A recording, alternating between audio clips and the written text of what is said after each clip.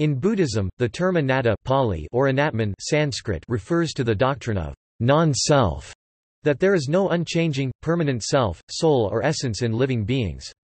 It is one of the seven beneficial perceptions in Buddhism, and along with dukkha suffering and anicca impermanence, it is one of three right understandings about the three marks of existence. The Buddhist concept of anatta or anatman is one of the fundamental differences between Buddhism and Hinduism, with the latter asserting that atman self, soul exists.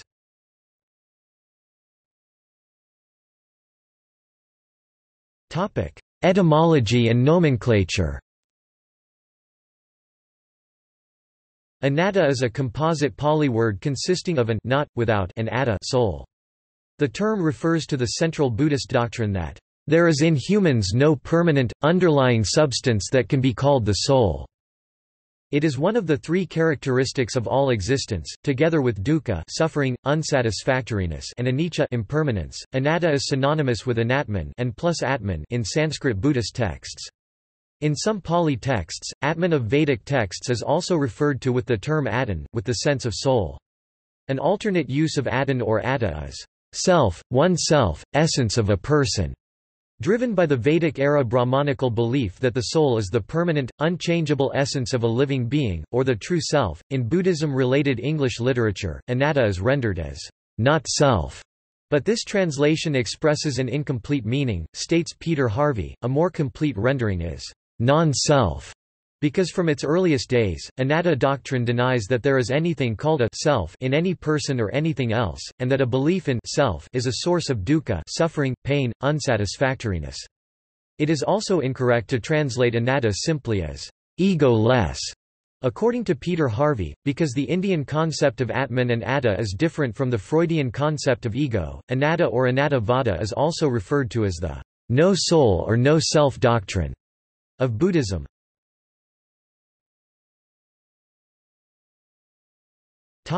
Anatta in early Buddhist texts. The concept of anatta appears in numerous sutta of the ancient Buddhist Nikaya texts Pali Canon.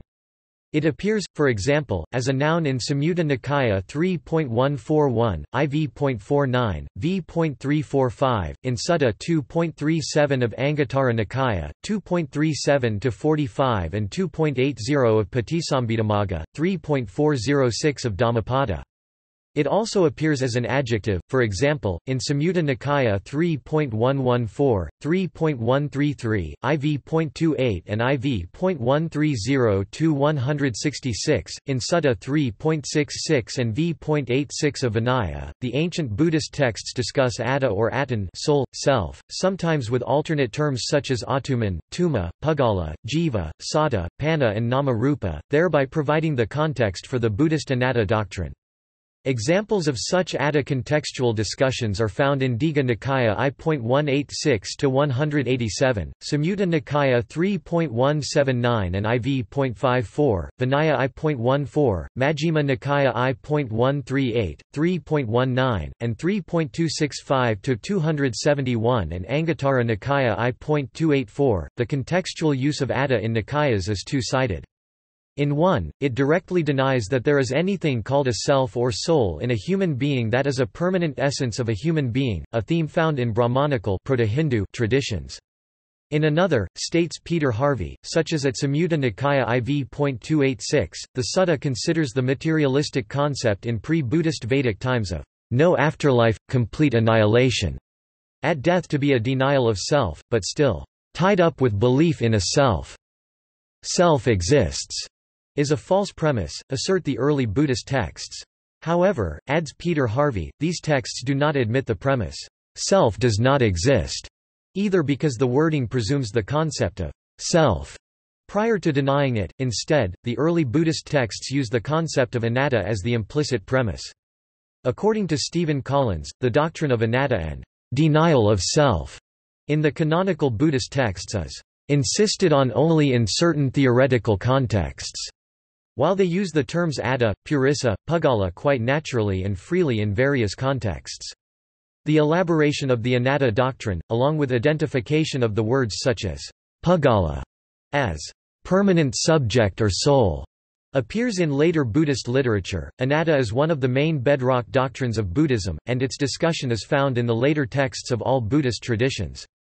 For example, the Buddhist philosopher Nagarjuna 200 CE, extensively wrote about rejecting the metaphysical entity called atta or atman self, soul, asserting in chapter 18 of his Mulamadhyamakakarika that there is no such substantial entity and that, "...Buddha taught the doctrine of no self." The texts attributed to the 5th-century Buddhist philosopher Vasubandhu of the Yogacara school similarly discuss anatta as a fundamental premise of the Buddha. The Vasubandhu interpretations of no-self thesis were challenged by the 7th-century Buddhist scholar Candrakirti, who then offered his own theories on its importance.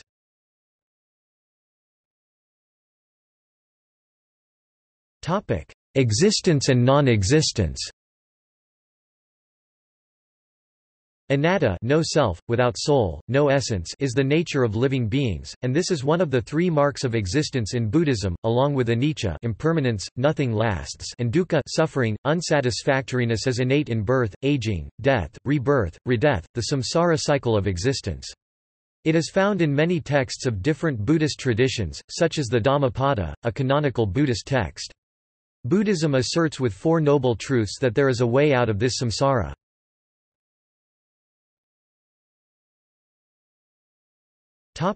Eternalism and annihilationism While the concept of soul in Hinduism as Atman and Jainism as Jiva is taken for granted, which is different from the Buddhist concept of no soul, each of the three religions believed in rebirth and emphasized moral responsibility in different ways in contrast to pre-Buddhist materialistic schools of Indian philosophies. The materialistic schools of Indian philosophies, such as Charvaka, are called annihilationist schools because they posited that death is the end, there is no afterlife, no soul, no rebirth, no karma, and death is that state where a living being is completely annihilated, dissolved. Buddha criticized the materialistic annihilationism view that denied rebirth and karma, states Damien Keown. Such beliefs are inappropriate and dangerous, stated Buddha, because they encourage moral irresponsibility and material hedonism. Anatta does not mean there is no afterlife, no rebirth or no fruition of karma, and Buddhism contrasts itself to annihilationist schools. Buddhism also contrasts itself to other Indian religions that champion moral responsibility but posit eternalism with their premise that within each human being there is an essence or eternal soul, and this soul is part of the nature of a living being, existence and metaphysical reality.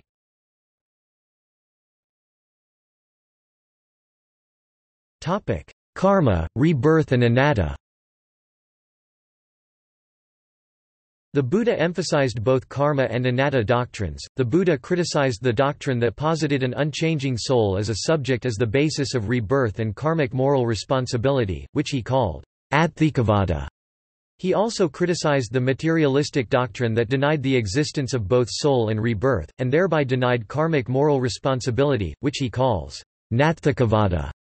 Instead, the Buddha asserted that there is no soul, but there is rebirth for which karmic moral responsibility is a must.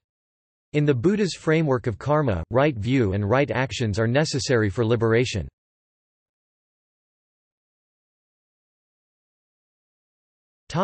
Developing the self According to Peter Harvey, while the Suttas criticize notions of an eternal, unchanging self as baseless, they see an enlightened being as one whose empirical self is highly developed. This is paradoxical, states Harvey, in that, the self-like nibbana state is a mature self that knows everything is selfless. The empirical self is the citta mind, heart, mindset, emotional nature, and the development of self in the suttas is the development of this citta, one with great self, state the early Buddhist suttas, has a mind which is neither at the mercy of outside stimuli nor its own moods, neither scattered nor diffused, but imbued with self-control, and self-contained towards the single goal of nibbana and a self-like state. This great self is not yet an arahat, because he still does small evil action which leads to karmic fruition, but he has enough virtue that he does not experience this fruition in hell. An arahat, states Harvey, has a fully enlightened state of empirical self, one that lacks the sense of both I am and this I am, which are illusions that the arahat has transcended. The Buddhist thought and salvation theory emphasizes a development of self towards a selfless state not only with respect to oneself, but recognizing the lack of relational essence and self in others, wherein states Martin van Zomeren, "...self is an illusion."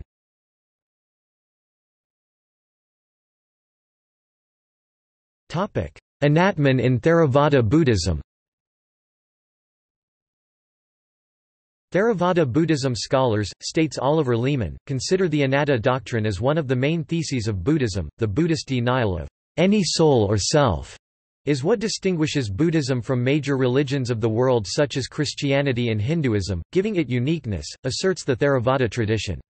With the doctrine of anatta, stands or falls the entire Buddhist structure, asserts Nyanatiloka, according to Collins. Insight into the teaching of anatta is held to have two major loci in the intellectual and spiritual education of an individual. As S, he progresses along the path. The first part of this insight is to avoid sakkayaditthi personality belief, that is converting the sense of I which is gained from introspection and the fact of physical individuality into a theoretical belief in a self. A belief in a really existing body is considered a false belief and a part of the ten fetters that must be gradually lost. The second loci is the psychological realization of anatta, or loss of pride or conceit. This, states Collins, is explained as the conceit of asmimana or I am. What this conceit refers to is the fact that for the unenlightened man, all experience and action must necessarily appear phenomenologically as happening to or originating from an I. When a Buddhist gets more enlightened, this happening to or originating in an I or sakkayaditthi is less. The final attainment of enlightenment is the disappearance of this automatic but illusory I. The Theravada tradition has long considered the understanding and application of the anatta doctrine to a complex teaching, whose personal, introjected application has always been thought to be possible only for the specialist, the practicing monk. The tradition, states Collins, has insisted fiercely on anatta as a doctrinal position. While in practice it may not play much of a role in the daily religious life of most Buddhists. The suttas present the doctrine in three forms. First, they apply the no self, no identity doctrine to all phenomena as well as any and all objects, yielding the idea that all things are not self. Sab Dhamma Anatta. Second, states Collins, the suttas apply the doctrine to deny self of any person, treating conceit to be evident in any assertion of, this is mine, this I am, this is myself. Etam mamam eso ham asmi, eso me t. Third, the Theravada texts apply the doctrine as a nominal reference, to identify examples of self and not self respectively the wrong view and the right view. This third case of nominative usage is properly translated as self as an identity and is unrelated to soul, states Collins. The first two usages incorporate the idea of soul. The Theravada doctrine of anatta, or not self not soul, inspire meditative practices for monks, states Donald Swearer, but for the lay Theravada Buddhists in Southeast Asia, the doctrines of karma, rebirth and punna merit inspire a wide range of ritual practices and ethical behavior. The anatta doctrine is key to the concept of nirvana in the Theravada tradition. The liberated nirvana state, states Collins, is the state of anatta, a state that is neither universally applicable nor can be explained, but can be realized.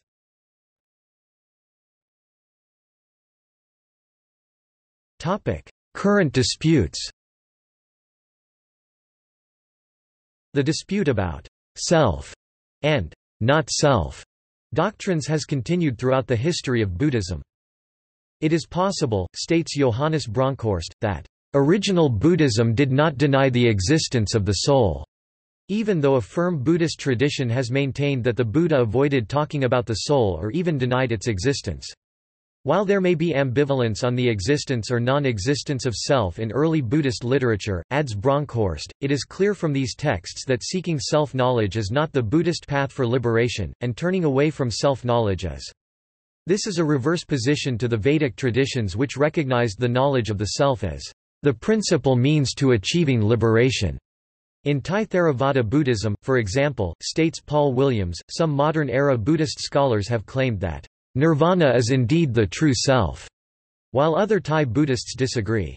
For instance, the Dhammakaya movement in Thailand teaches that it is erroneous to subsume nirvana under the rubric of anatta non-self, instead, nirvana is taught to be the true self, or Dhammakaya. The Dhammakaya movement teaching that nirvana is atta, or true self, was criticized as heretical in Buddhism in the 1994 by Ven.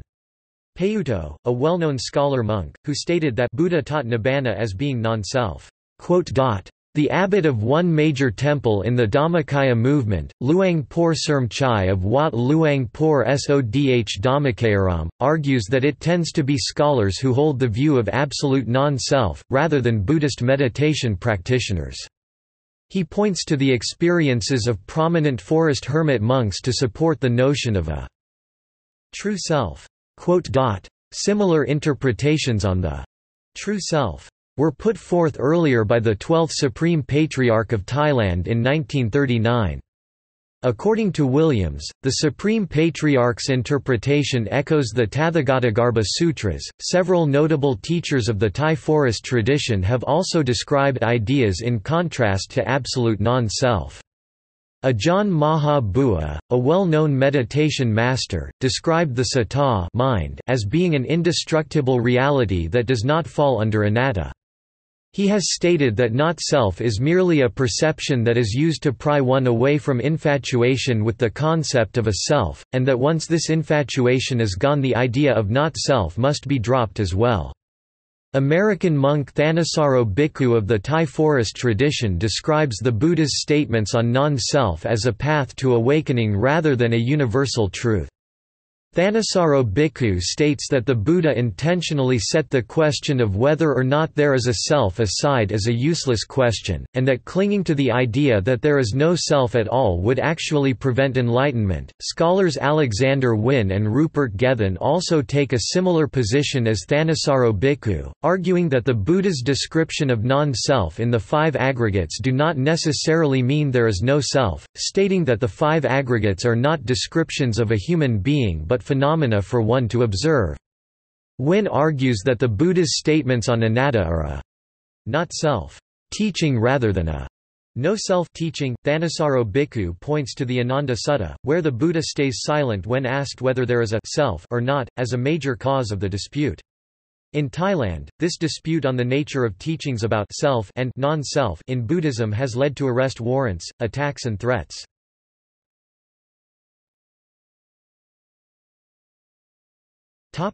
Anatman in Mahayana Buddhism There are many different views of anatta Chinese, wu wo pinyin, wu wo, Japanese, wu wo muga within various Mahayana schools. Nagarjuna, the founder of Madhyamaka middle way school of Mahayana Buddhism, analyzed dharma first as factors of experience. He, states David Kalupahana, analyzed how these experiences relate to bondage and freedom, action and consequence, and thereafter analyzed the notion of personal self atta, atman. Nagarjuna asserted that the notion of a self is associated with the notion of one's own identity and corollary ideas of pride, selfishness and a sense of psychophysical personality. This is all false, and leads to bondage in his Madhyamaka thought. There can be no pride nor possessiveness, in someone who accepts anatta and denies self which is the sense of personal identity of oneself, others or anything, states Nagarjuna. Further, all obsessions are avoided when a person accepts emptiness sunyata. Nagarjuna denied there is anything called a self-nature as well as other nature, emphasizing true knowledge to be comprehending emptiness. Anyone who has not dissociated from his belief in personality in himself or others, through the concept of self, is in a state of avidya ignorance and caught in the cycle of rebirths and redeaths. The early Mahayana Buddhism texts link their discussion of emptiness shunyata to anatta and nirvana. They do so, states Mun-Keat Choong, in three ways, first, in the common sense of a monk's meditative state of emptiness, second, with the main sense of anatta or everything in the world is empty of self, third, with the ultimate sense of nirvana or realization of emptiness and thus an end to rebirth cycles of suffering. The anatta doctrine is another aspect of shunyata, its realization is the nature of the nirvana state and to an end to rebirths.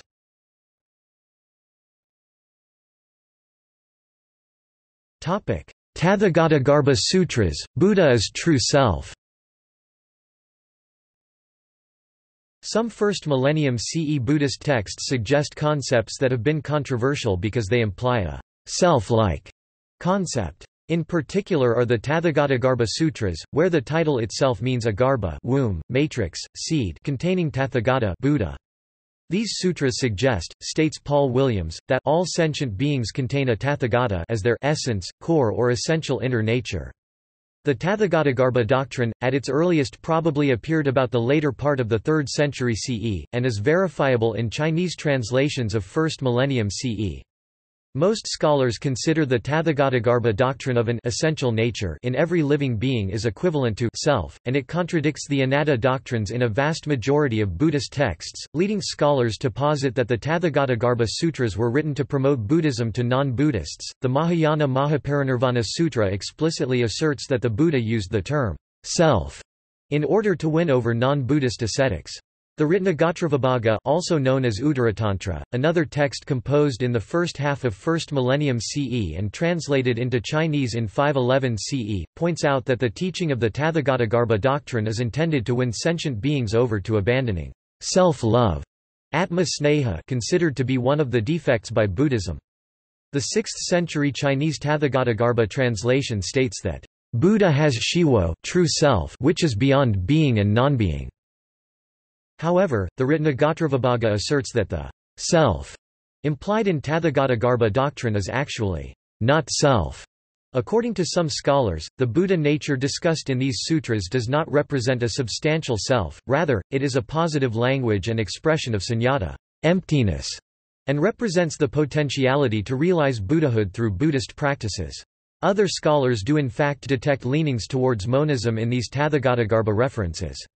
Michael Zimmermann sees the notion of an unperishing and eternal self in the Tathagatagarbha Sutra. Zimmermann also avers that the existence of an eternal, imperishable self, that is, Buddhahood, is definitely the basic point of the Tathagatagarbha Sutra. He further indicates that there is no evident interest found in this sutra in the idea of emptiness sunyata.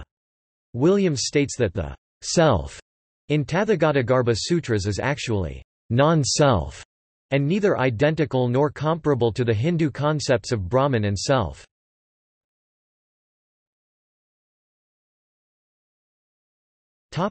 Anatman in Vajrayana Buddhism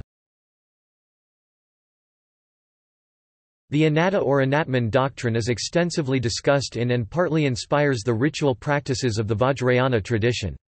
The Tibetan terms such as bdag med refer to without a self, insubstantial, anatman. These discussions, states Jeffrey Hopkins, assert the non-existence of a permanent, unitary and independent self, and attribute these ideas to the Buddha. The ritual practices in Vajrayana Buddhism employs the concept of deities, to end self-grasping, and to manifest as a purified, enlightened deity as part of the Vajrayana path to liberation from rebirths. One such deity is goddess Nairatmya literally, non-soul, non-self. She symbolizes, states Miranda Shaw, that self is an illusion, and all beings and phenomenal appearances lack an abiding self or essence. In Vajrayana Buddhism,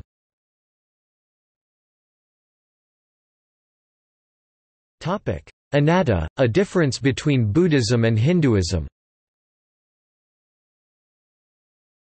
Anatta is a central doctrine of Buddhism. It marks one of the major differences between Buddhism and Hinduism. According to the anatta doctrine of Buddhism, at the core of all human beings and living creatures, there is no eternal, essential and absolute something called a soul, self or atman. Buddhism, from its earliest days, has denied the existence of the self, soul, in its core philosophical and ontological texts. In its soteriological themes, Buddhism has defined nirvana as that blissful state when a person, amongst other things, realizes that he or she has no self, no soul. The traditions within Hinduism believe in Atman. The pre-Buddhist Upanishads of Hinduism assert that there is a permanent Atman, and is an ultimate metaphysical reality. This sense of self, is expressed as, I am, in Brihadaranyaka Upanishad 1.4.1, states Peter Harvey, when nothing existed before the start of the universe. The Upanishadic scriptures hold that this soul or self is underlying the whole world. At the core of all human beings and living creatures, assert the Hindu traditions, there is eternal, innermost essential and absolute something called a soul, self that is Atman. Within the diverse schools of Hinduism, there are differences of perspective on whether souls are distinct, whether supreme soul or God exists, whether the nature of Atman is dual or non-dual, and how to reach moksha. However, despite their internal differences, one shared foundational premise of Hinduism is that soul, self exists, and that there is bliss in seeking this self, knowing self, and self-realization. While the Upanishads recognized many things as being not self, they felt that a real, true self could be found. They held that when it was found, and known to be identical to Brahman, the basis of everything, this would bring liberation. In the Buddhist suttas, though, literally everything is seen as non-self, even nirvana. When this is known, then liberation, nirvana, is attained by total non-attachment. Thus both the Upanishads and the Buddhist suttas see many things as not self, but the suttas apply it, indeed non-self, to everything. Both Buddhism and Hinduism distinguish ego-related, I am, this is mine, from their respective abstract doctrines of anatta and atman. This, states Peter Harvey, may have been an influence of Buddhism on Hinduism.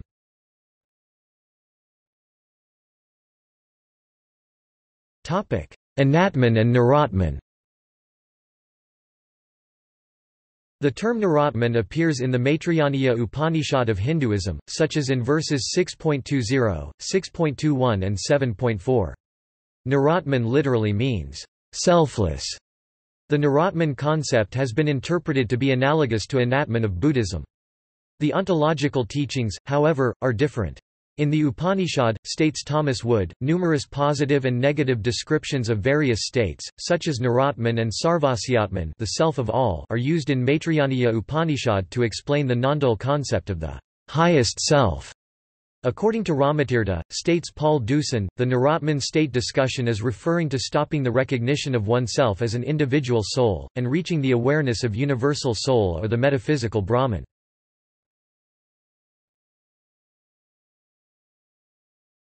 Topic. See also Equals equals notes